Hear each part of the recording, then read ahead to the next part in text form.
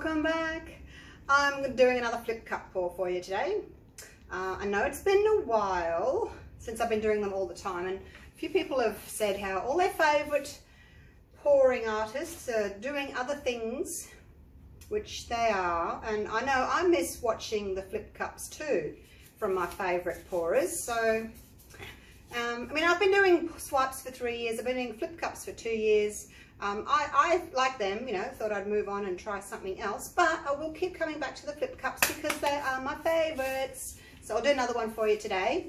As usual, 60% glue, 40% water. This is Elmer's glue all. You can use school glue, white craft glue, whatever you like. And I have got some gorgeous sort of pinks and purples and a bit of turquoise today. Uh, I am going to put in We'll do a little bit less, three drops of spot on in each colour. I find I don't need a lot of cells, but you know, I'd rather have the cells that are there. I'd like them to be pretty cells. Um, and I can stretch them to make them bigger. So let's reduce the amount of oil and just see if we can get a better result. Oh, I think four fell in that last one as I was lifting it. Now this is dioxazine purple. I'm using all global today, global paints, except for the white, which is the Montmartre white, because I know it won't split. So, um, equal parts of pouring medium to global paint. A couple of the colours were a bit thick. I had to add a, a splash of water. Uh, this is just a really pale aqua. It's called a Marina. The cobalt here was really thin. I had to add an extra scoop of paint to bring it to the same consistency. So when I do my ribbon on top, it sits there for about three seconds before it disappears. One, two, three. Uh, with the cobalt, it was gone after about one and a half seconds, so I had to add a little bit more paint. One, two, three it's gone. So that's how I work out my consistency. If, if it's still sitting on top, you know, at four or five seconds, it's too thick. And if it's gone in a second or two, it's too thin. One, two, three. That one's a little bit on the thin side. One, two, three. Oh no, it's still there. A little bit of a trace of it still there at three. Right, uh, this pink is called hibiscus. And then down the end there is the dioxazine purple, which I make myself. This one in the middle is plum, which I also make myself. I have got a video on how to make all different colours, so just look back if you want to see it. Uh, cobalt, that's just regular cobalt. And the marina is that pale aqua. And then, of course, we have white and spot on treadmill silicone. I gave it a bit of a clean, my label, so you could read it. Okay, let's get to layering. Um, I think I'm just going to do them all the same, but I'll just, I'll put one at one end and two at the other and drag them through. Because I got all confused last time when I tried to do different layers in different cups. Not the brightest spark at the moment. Let's move these down so I've got a bit of room to move. Now I'm going, as you can see, dark, light, dark, light, dark, dark, light, dark. This one's, well, it's lighter, but it's different shade, but it's darker than the white, and then back to the pinky color, and then it'll go back to the darker purple again. So, yeah, just trying to separate them.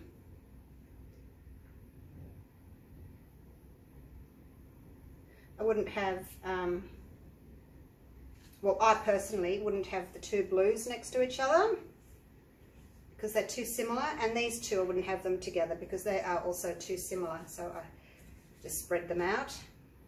With a different colour, a lighter colour between the two darks. And that's how I do it. Doesn't mean that's how you have to do it but that's just how I like to do it. Nice covering on each. Just try and drizzle it in not so it sits on top and doesn't fall straight through so you just have a little drizzle, which means it's lighter, so it stays on top. If you pour a big amount in, it would go straight, straight through, so little bits.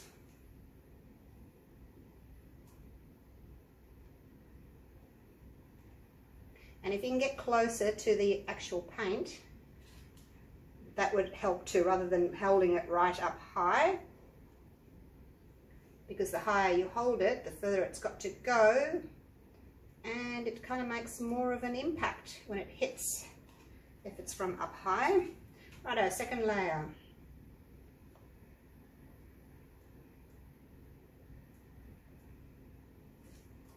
trying to fill my end cup up. Poor little thing always has less paint. I'm trying to have them equal, but always has less. Love this dioxazine purple.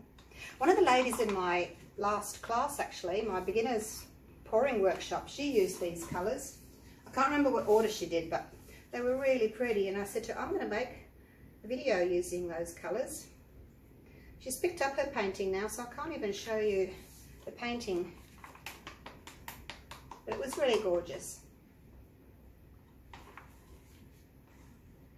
It's nice when different people have ideas on different colour schemes. Like, I mean, I've used pinks and purples before, but not these exact ones together. So it's really nice getting a different perspective on colours.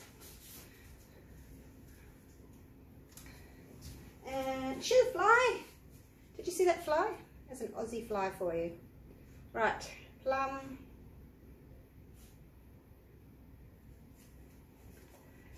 So my puppies are all doing well. Those of you who are following my breeding of late.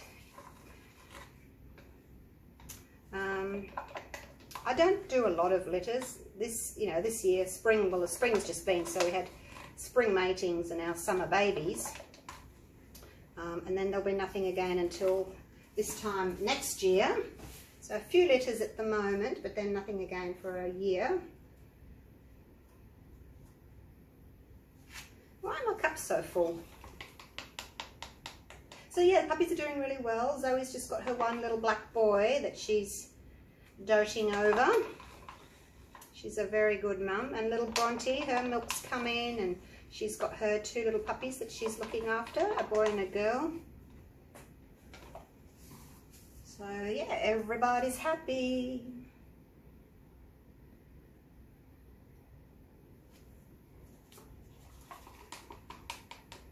Getting closer to Christmas, hey? Is everyone organised? I know I'm not. Still got some more shopping to do Christmas shopping for people. It's hard trying to find gifts sometimes, isn't it, for people? I like it when they can give you some ideas, a little list, especially the kids. Actually, my daughter, my youngest daughter, Gemma, it's her birthday, Christmas Eve. So I need to find two lots of presents for her, which is even more difficult. And it wasn't very good timing on my behalf, was it? Christmas Eve baby. Went into hospital. Oh, actually, I went into, let me see if I can remember. It was a long time ago. It's only 20, how old is she? She was 25. um, went into labour at one o'clock in the afternoon. My husband was showing this man our car because we were trying to sell the car, get a new car. So he was out um, showing this man the car and they got a flat tire or something happened. Um, and I'm at home in labour thinking, oh my God, get home, David. I'm going to have this baby. And this was, you know, before mobile phones, back in the, the dark ages. So I couldn't get hold of him. and I'm, you know, jumping all over the place, being in labour, because it's the third child, you know, it's coming pretty quick. So anyway, he finally got home. We raced to the hospital. Got to the hospital at about three o'clock in the afternoon. She was born at about six o'clock that evening. Um, and then a couple of hours later, I went home, discharged myself. There was no way that I was going to be in hospital for Christmas Day. So she was fine, I was fine, we all went home and had a lovely Christmas. uh, yes, remember the times. Okay, let's do this, you guys. Oh, pretty colours. Now this one I was going to do that, but backwards, wasn't I? I shouldn't get this blobby bit here from the the last bit of paint that comes out of the cup. Just can't help it. So if I drag too fast, I don't empty the cups. So I have to kind of slow down at the end, but then the paint falls from the top of the cup down and makes that. But that's all right, I, I will tip that off anyway. Let's do this last one. Hopefully I'll get a little bit more pink. Mm, not really. Not a lot more pink.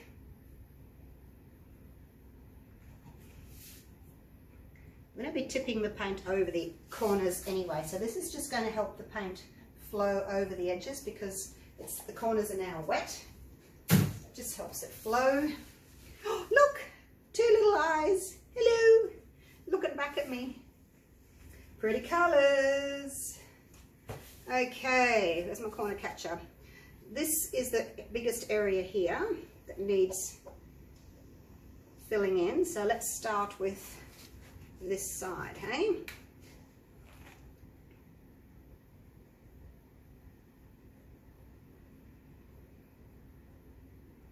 So try not to lose too much paint over the edge just yet. So, so I kind of go more this way rather than straight down. Same again, just into the corner there and back. I'm going to tilt over there later anyway, if I want to. Look at those colours, aren't they pretty? Now these blobs here, I probably didn't mix my silicone in enough. See what I, I mean about those blobs of silicone? That's what happens when you don't stir enough. So, example A, example B. All right, I don't need that anymore. Clean that off. Righto, uh, let's give it a torching. Now I've got less oil in it this time, so I'm going to torch even more carefully. I say that every time and I still stuff it up. I get too close in certain areas. Uh, we'll keep trying. See, I can't even get close enough to pop that bubble because then I know I'll be too close. So that's how high up you need to be. You can't even be close enough to be popping bubbles. Oh, there he goes. It was a big bubble. Whoops. Oh, look at this. I'm too close in here.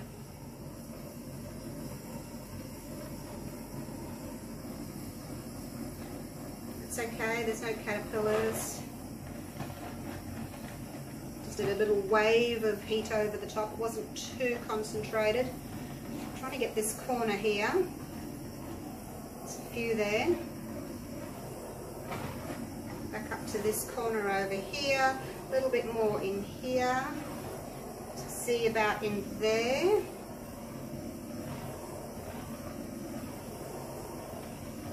Okay, I'm just going crazy with the torch. I wanted less. I've still got heaps. How did that happen? Okay. um, now I will tilt some of that off because there's a bit much there. And I, I do have plenty of paint so that I can move everything over. Oops, you're going too fast, Julie. Slow down. Slow down. You move too fast. You gotta make the moment last. Is that how it goes? All right, let's see if we can get rid of these two big blobby bits. Oh, they're gone. How about that little caterpillar? Two eyeballs don't bother me. Let's keep the eyeballs.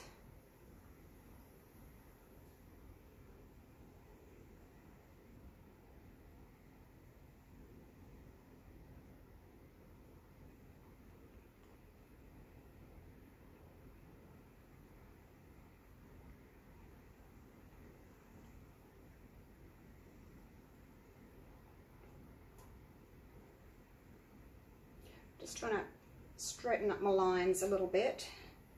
If you've got a curve down here, you kind of have to take the paint back down and then move it.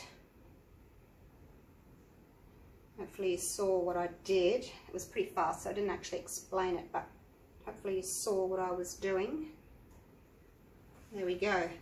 That was pretty fast. I probably should have slowed down a little bit. But hey, when you're on a roll, just go for it, hey? So what do you think of those colours? Hey, they're pretty, aren't they? Oh, look at that eyeball. I'm going to have to take you down to show you that one. So there's a couple of cells that got a bit out of shape. I'm going to give it a light torching just to see if I can get some little tiny cells to come up in this area up here. A few little ones here and there. I like the little ones in contrast to the big ones sometimes, especially when they're quite big. Get a few little guys in.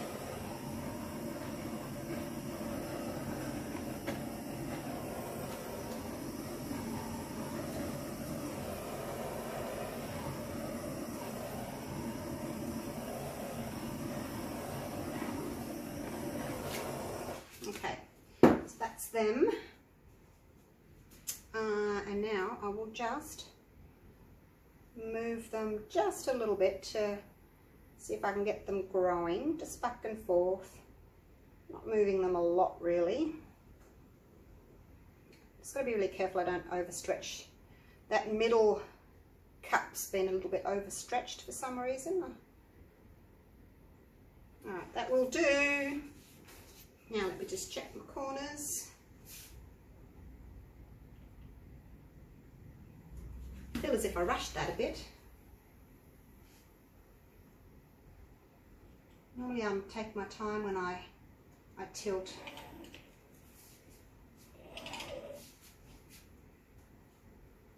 But uh, the paint just sort of was moving in a in the direction I was wanting it to go, so I just thought, oh well, we'll just go for it.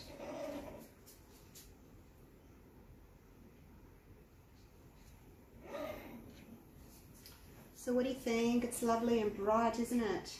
Gorgeous. Love the colours. Look at this cobalt here with the bright pink in it. It's really pretty.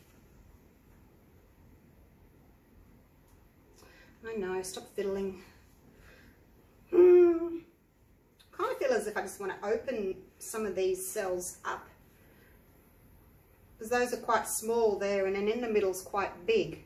I probably didn't tip enough off the sides when I was doing the sides, you know what I mean?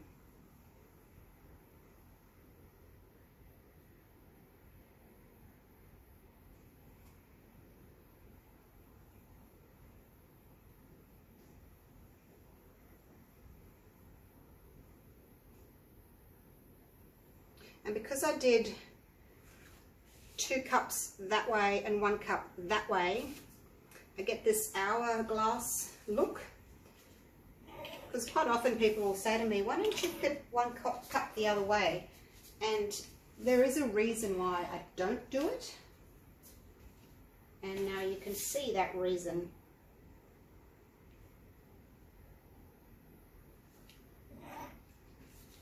Because these two had already settled and then I came through with that one so it's made this like that like a like a V I guess. Um, and that's why I don't tend to to do that. But that middle section is a lot brighter. It's like really catches your eye. It's actually prettier than these two. These two have got a lot of purple in them. I mean that one's got that bit of cobalt through the center. Mm, I'll just leave it Okay, let me take you down. So anyway, that's why I tend to always flip and drag from the one side. So now you can see why, and see the effects that changing it up does. Okay, let's go down for a close-up. I've got workers here today doing a retaining wall, sleeper retaining wall down my driveway down to the granny flat. Oh, I should take you down and show you the granny flat, shouldn't I, at some stage? I've been talking about it for months. It's actually pretty much done now. The shower screen went in yesterday. And the um, splashback and the little kitchenette's done. Actually, I might go and take a little video after I've done this and then I can show you in my next video what it's looking like. So here, where I've got a little bit of a cluster, I've got a bit close, but the cells are still pretty. Like I didn't get too close. The caterpillars didn't form. Um, but I've got rings. Oh, there's that eyeball I was telling you about. Look at that eyeball. Hello.